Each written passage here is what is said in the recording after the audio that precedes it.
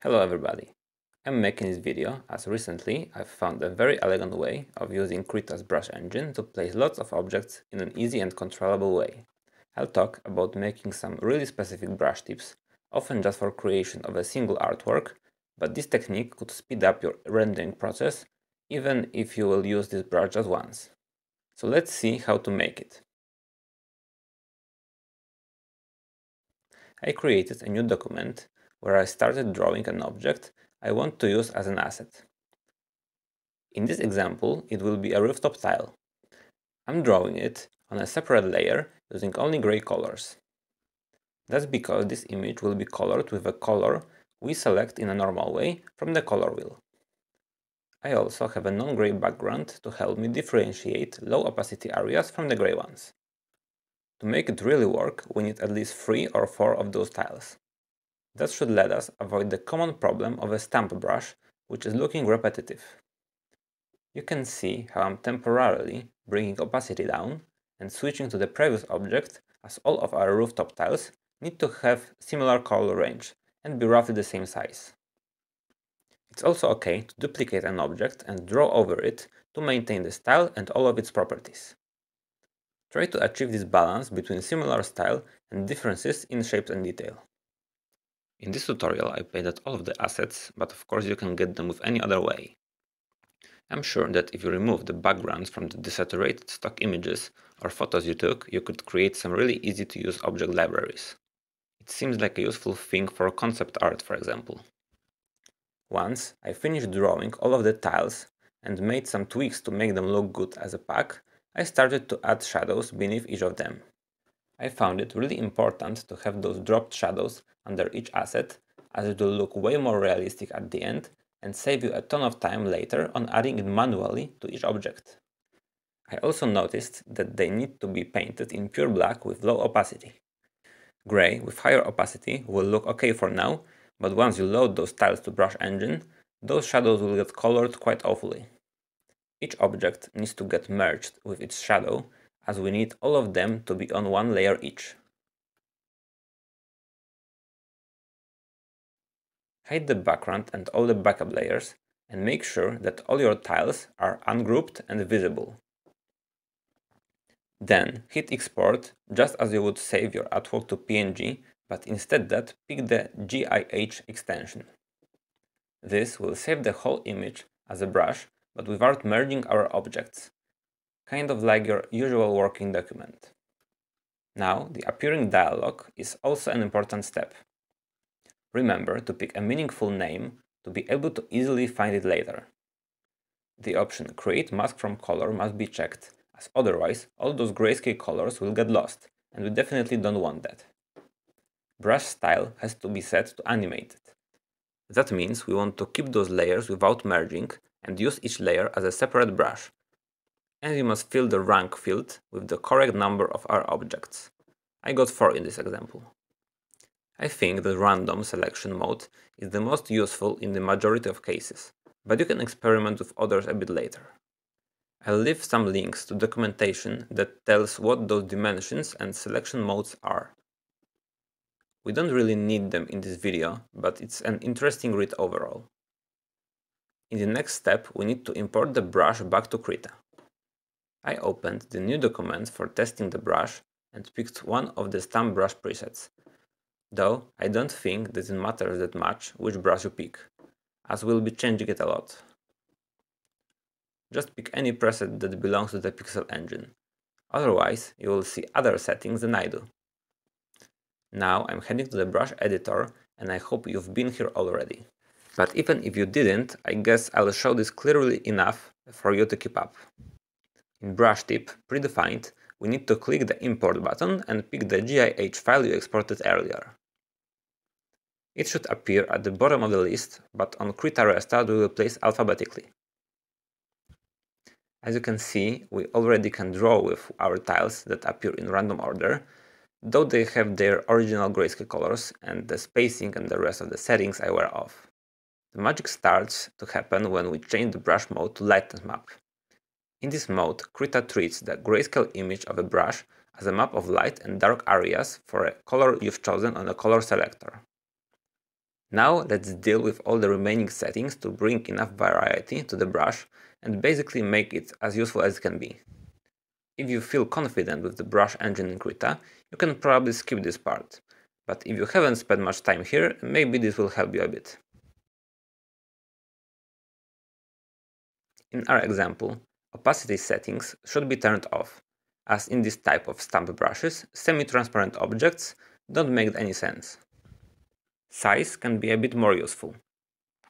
I'll move the left control point much higher, so that the size of our objects can get between around 70 to 100% of the selected value, the one you set when you press shift while drawing.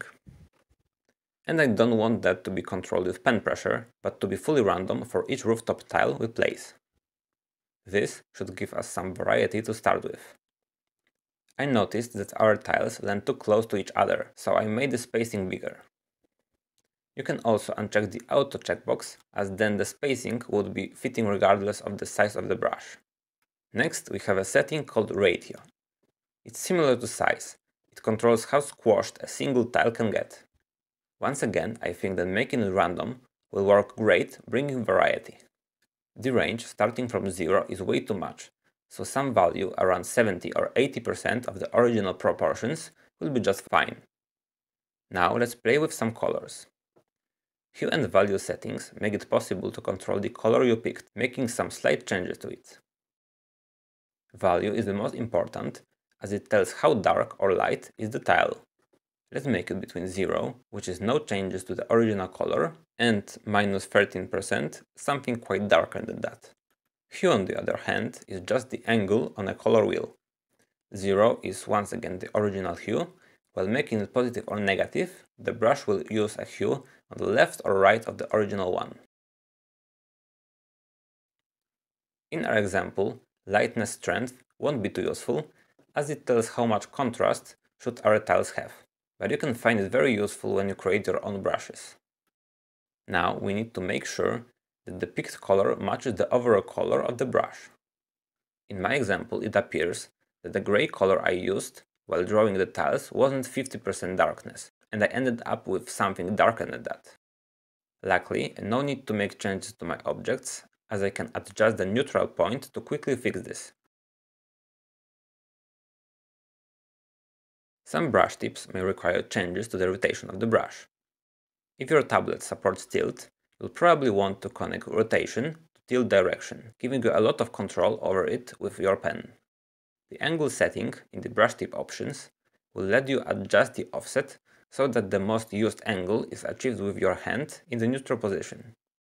Of course, depending on the brush, you may want to use other options for rotation. You probably know how to use fuzzy dab by now. It can be very useful both for full randomness of the brush tip, as well as for applying only a small variation. When you're done, make sure to save your brush preset Give it a name and draw a fast icon. Okay, so now, when you know how to make your own animated assets, here are some tips on how to actually use them. One thing to be aware of is that you hardly ever make a perfect brush tip at the first try. There are just too many things to handle, and as you cannot easily check how the brush works in practice, it's very likely that at least some of those objects won't look well enough when scaled down, won't fit the rest of the group, or will have inappropriate contrast. That's why I really advise you to save your file as a Krita document first, before exporting to GIH. This way, you can always have some backups on invisible layers, adjust contrast with curves, correct shadows, paint over object to fix your mistakes, or even delete those that won't work well enough. The GIH format also allows you to open it with Krita and keep the layers stuck, but the invisible layers will be lost. Each time you make those changes, you'll have to import the tip once again and set it to lightness mode. That's a bit sad it won't use it as a default for the brush tip with preserved alpha, but it isn't that of a problem honestly.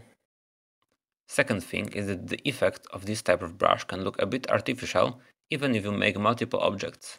Basically, you need to be aware that unless you use those stamps in single details, you'll probably have to paint over the whole area at the end. Similarly, like painting over a rough 3D render. You just can't rely exclusively on this trick.